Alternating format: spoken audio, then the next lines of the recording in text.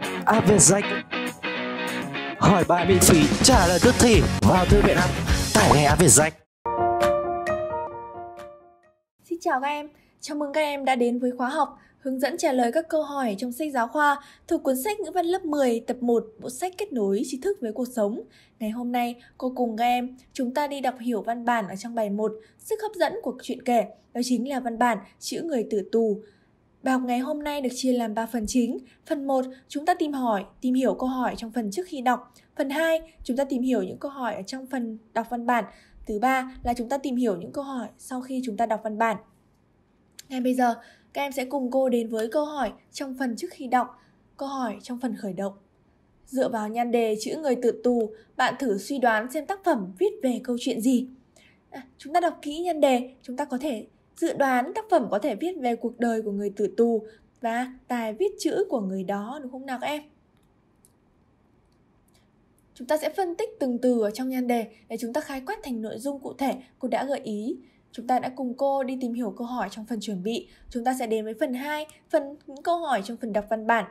Nội dung đầu tiên là tóm tắt nội dung cuộc trò chuyện giữa nhân vật quản ngục và thầy thơ lại. Chúng ta sẽ trả lời câu hỏi này bằng cách đọc kỹ toàn bộ văn bản, khái quát những chi tiết chính để chúng ta tóm tắt nội dung cuộc trò chuyện giữa nhân vật quản ngục và thầy thơ lại. Cô gợi ý sau. Viên quản ngục nhận được phiến chat có ghi 6 tên thủ án chém, trong đó có Huấn Cao là người được khen tài viết chữ rất nhanh và đẹp. Viên quản ngục bảo thầy thơ lại quét dọn cái buồng trong cùng để cầm giữ Huấn Cao. Quản ngục và thơ lại thấy tiếc một người nhiều tài như Huấn Cao lại phải chết. Đó cũng chính là nội dung chính của câu chuyện này. Chúng ta sẽ cùng cô đến với câu hỏi số 2. Chú ý các chi tiết cho biết ngoại hình, suy nghĩ, lời nói, sở thích, môi trường sống của quản ngục và những câu văn khái quát được tính cách của nhân vật này. Chúng ta sẽ trả lời câu hỏi này bằng cách kể bảng như sau. Chúng ta sẽ tìm được đặc điểm về ngoại hình, suy nghĩ, lời nói, sở thích, môi trường sống của nhân vật quản ngục và những câu văn, những chi tiết khái quát được tính cách của nhân vật này. Đầu tiên là về ngoại hình. Tác giả miêu tả Người ngồi đấy đầu đã điểm hoa dâm, dầu đã ngả màu. Về suy nghĩ,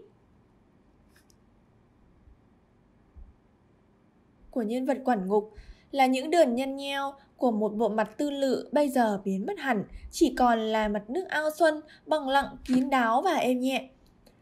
Tác giả miêu tả lời nói của nhân vật, có lẽ lão bát này cũng là một người khá đây, có lẽ hắn cũng như mình, chọn nhầm nghề mất rồi, một kẻ biết mình kính mến khí phách, một kẻ biết tiếc, biết trọng người tài, hẳn không phải là kẻ xấu hay là vô tình, Ta muốn biệt đãi ông Huấn Cao, ta muốn cho ông ta đỡ cực trong những ngày cuối cùng còn lại, nhưng chỉ sợ tên bắt phẩm thơ lại này đem áo báo cáo với quan trên thì khó mà ở yên.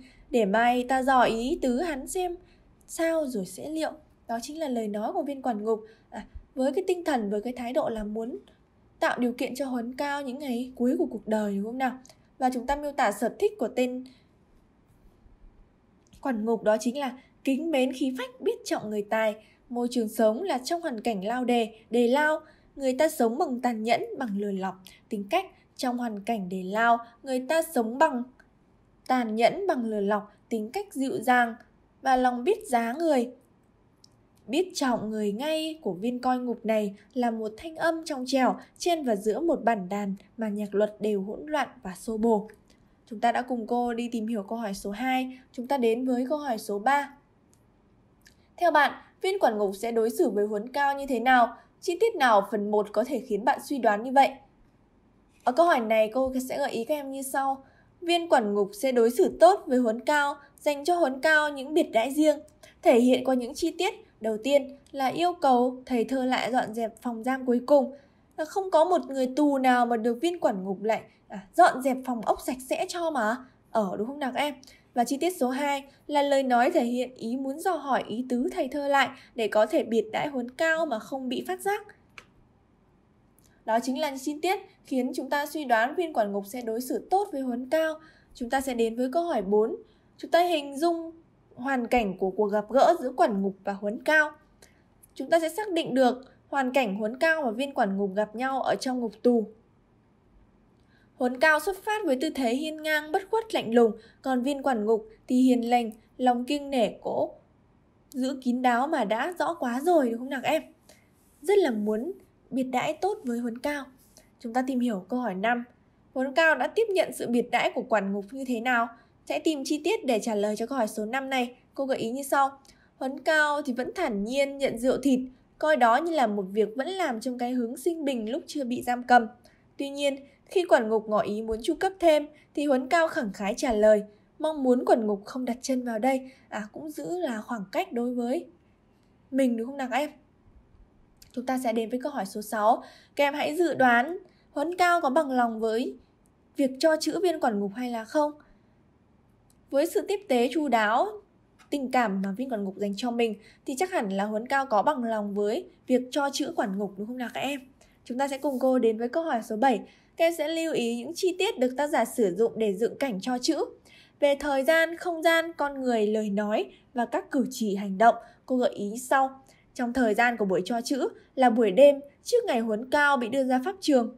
Trong không gian, trong một buồng tối chật hẹp, ẩm ướt, tường đầy mạng nhện rổ dập. Đất bừa bãi, phân chuột, phân rán. Và hình ảnh con người, người cho chữ và người nhận chữ thì như thế nào? À, người cho chữ thì nói, ở đây lẫn lộn, ta khuyên thầy quản nên thay trốn ở đi. Chữ của người nhận, người nhận chữ là nói kẻ mê muội này xin bái lĩnh.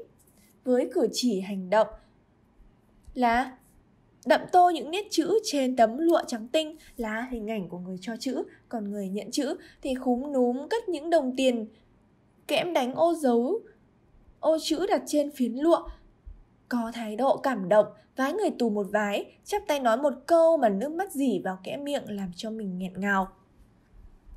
Đây là một hoàn cảnh rất chớ trêu, một người chữ đẹp, một người tài hoa như Huấn Cao lại phải lâm vào cảnh ngục tù và một người xin chữ là một người à, có một cái tính rất là tốt đẹp muốn là trọng người tài nhưng vì hoàn cảnh không biết làm gì hơn đúng không nào em? Và muốn xin chữ viên quản muốn xin chữ của Huấn Cao để lưu giữ cho kỷ niệm cho bản thân mình.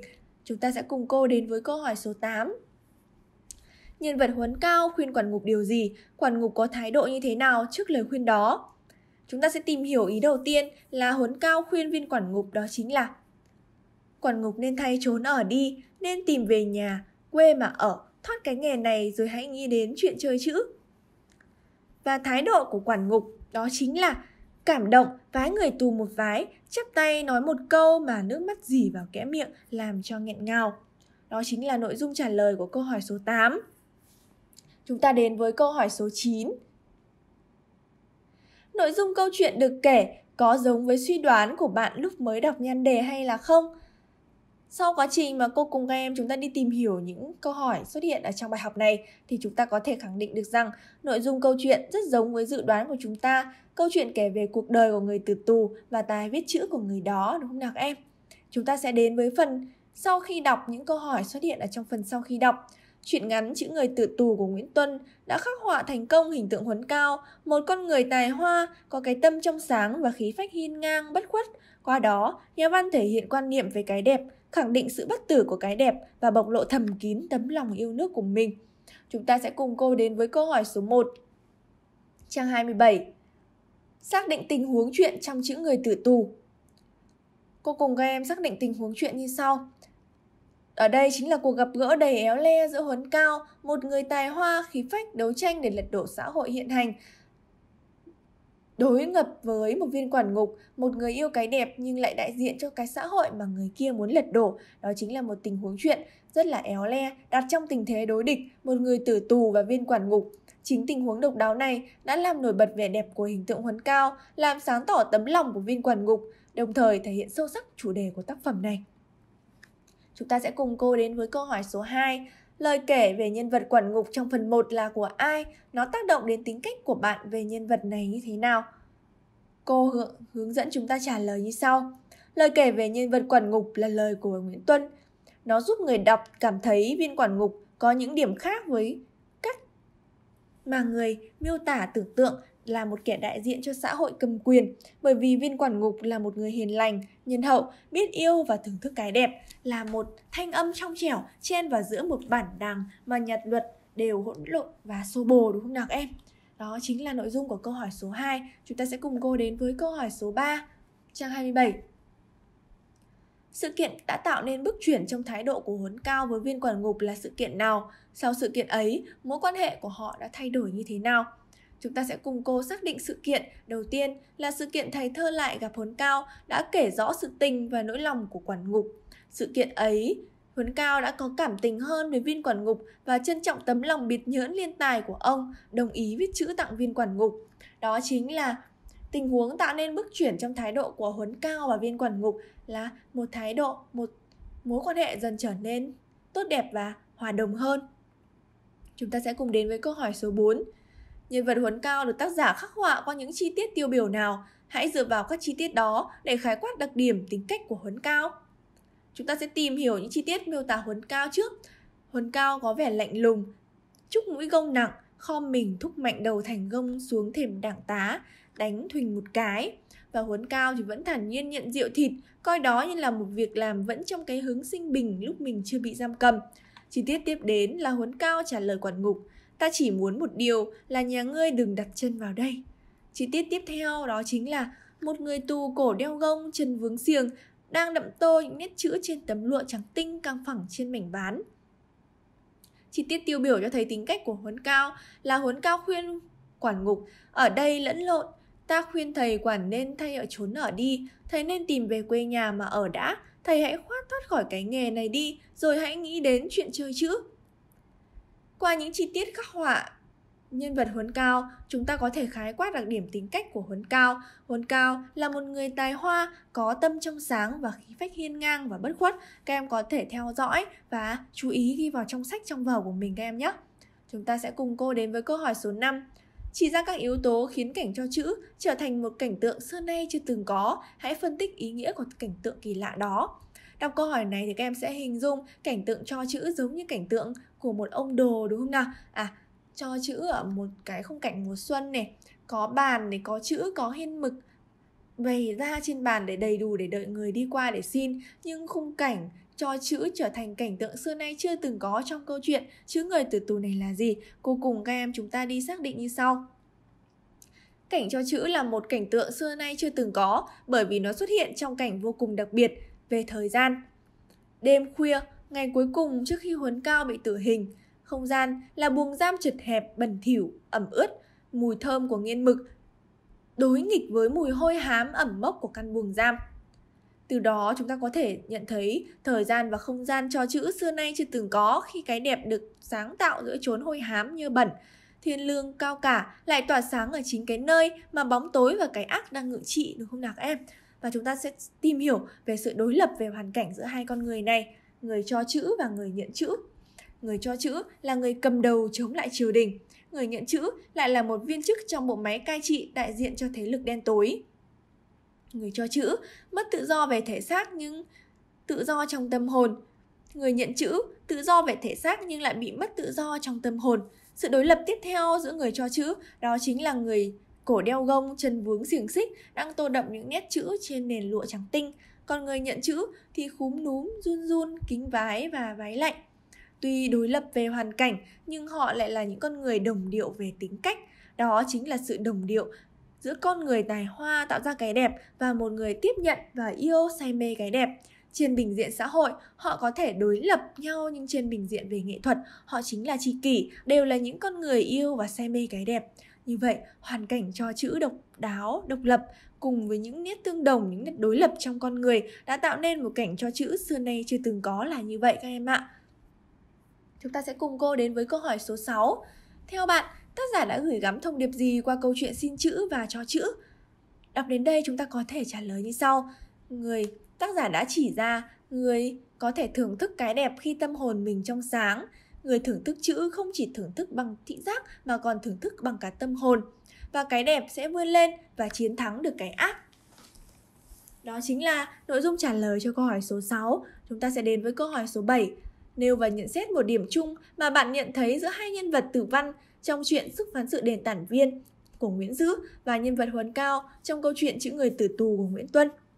Cô gợi ý các em như sau. Điểm giống nhau là Tử Văn và Huấn Cao đều là những người mang trong mình một thái độ ngông, nhưng ngông ở đây lại không phải là ngông nghênh, hống hách, mà thái độ là hiên ngang, bất khuất, đầy bản lĩnh. không bao giờ đầu hàng trước cái xấu, cái ác và luôn đấu tranh để bảo vệ cho chính nghĩa, cho cho những điều tốt, cho những người dân hiền lành lương thiện đúng không nào các em? Chúng ta sẽ cùng cô khép lại câu hỏi số 7 đến với phần viết kết nối với đọc. Bài tập trang 27, sách giáo khoa ngữ văn lớp 10 tập 1. Em hãy viết đoạn văn khoảng 150 chữ, phân tích yếu tố nghệ thuật đặc sắc trong truyện ngắn chữ người tử tù.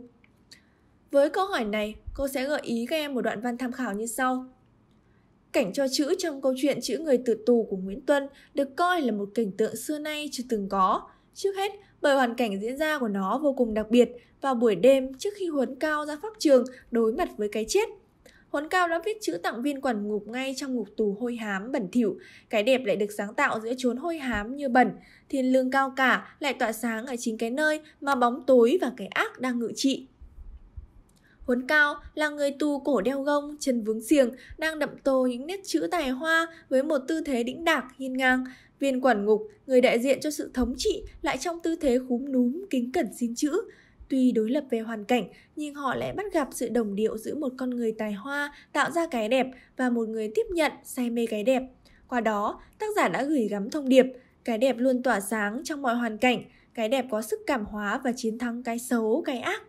Đó chính là nội dung của câu hỏi phần viết kết nối với đọc cô gợi ý các em. Câu hỏi này đã khép lại bài học ngày hôm nay. Cô cảm ơn các em đã lắng nghe và theo dõi. Cô chúc các em học tốt và hẹn gặp lại các em ở trong những bài học tiếp theo. Khóa học về rách sự lựa chọn của hàng triệu phụ huynh và học sinh. Trải nghiệm ngay khóa học của Vietjet